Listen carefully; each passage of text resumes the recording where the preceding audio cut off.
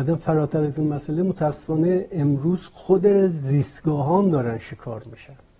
برای نمونه آشورده در نظر بگیریم آشورده از معدود زیستگاه های فوک خزری است که اخیرا هم یه کنوانسیون گناه های مهاجر حفاظتی اعلام کرده در حال مبارزه اعلام کرده.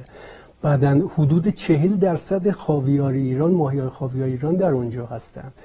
دقیقا میاد این سایت 22 هکتاری که امروز مطرح می‌کنن گردشگری اونم بدون وجاهت علمی اصلا طرح مشخصات فنی ندارد دقیقا در کنار سایت پرندگان آبزی و کنار آبزی می‌زنن که اصلا اصول به اصطلاح طبیعت گردی هم به ما میگی که طبیعتگرد باید جوری باشه که پرندت از شاخه هم نپره.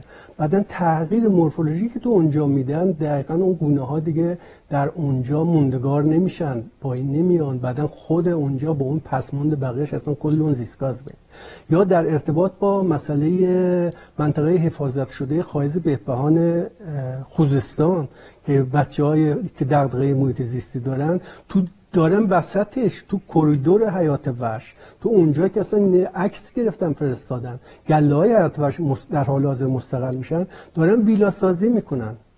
دقیقا دارن ویلا سازی می‌کنن. بعدا این از کل از بین بردن کل مسئله زیستگاه هست.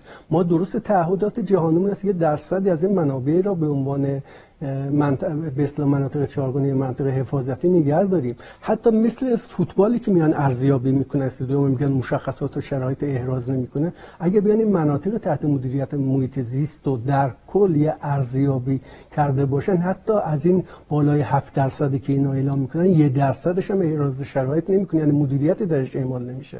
وسط پارک ملی بمو شهرک صنعتی می‌سازن. وسط پارک ملی کرمان فارکویل کرمان دادن به شرکت هواپیمایی. این بعدا از مسئله نمی‌دونم روشن کردن بحث فنی واقعا از این چیزها گذشته. بعدا اینی که تو فرهنگمون با اون که تو فرهنگ ملیمون هست بعدا باورهای دینیمون هست جایگاهش کار نداره. خب البته یه فرهنگ طاغوتی هم داریم. هر پادشاه اگه چند تا حیات وحش نمیکشت اگه پادشاه نبود.